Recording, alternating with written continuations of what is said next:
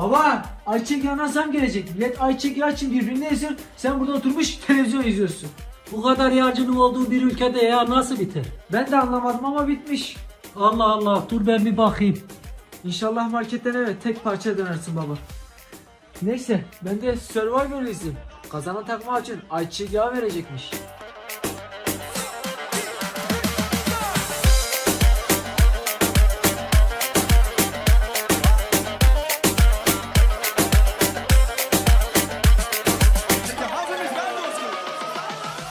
Ulan Arif bunlar ne böyle?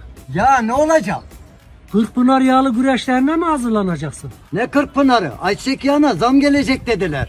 Marketlerin stok yaptığı yetmezmiş gibi bir de siz mi çıktınız? Beni fazla lafa tutma. Niye lan Geblo? Tüpe zam gelecek. 9-10 tane büyük tüp almam lazım. Allah'ım sen akıl fikir ver.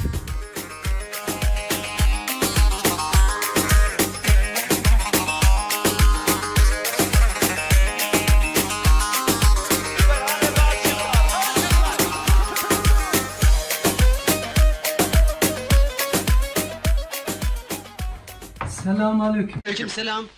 Ya var mıdır? Vardır. Yoktur. Karar verin var mıdır yok mudur? Arkadaş şaka yapıyor. Aklı sıra nah var demeye getirir. Zeytinyağını kim bulmuş da biz satak? Peki öyle olsun. Ya niye yalan söyledin herife yağ yok diye? Onda bizim yağ alacak para yok. Merhabalar. Buyur buyur. Nuri Bakkal yağ istiyor. Yoktur. Vardır. Ya sen beni deli mi etmek istiyorsun? Hani yağ yoktu? Nuri Bakkal'a vardır. Sen git ben bizim ortakla malları yollarım. Oldu. Ha fatura matura yok ha haberiniz ola. Peki.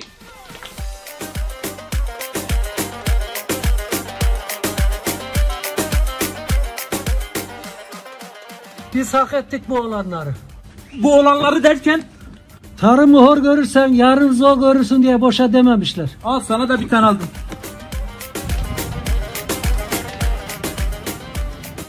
Nuri Bey, yağ geldi mi? Ne gezer Saffet Bey? Allah kahretsin, hepsi kara borsacılarda, stokçularda... Dört tanesini sallandıracaksın Karaköy meydanında, bak bakalım stok falan kalıyor mu? Doğru, haklısın. Hadi eyvallah. Güle güle. Ya Nuri Bey, niye yağ vermedin adama? Memurdur, fakirdir, alamaz. İstediğin fiyatı veremez. İçilir mi? Sular soğuk, içilir.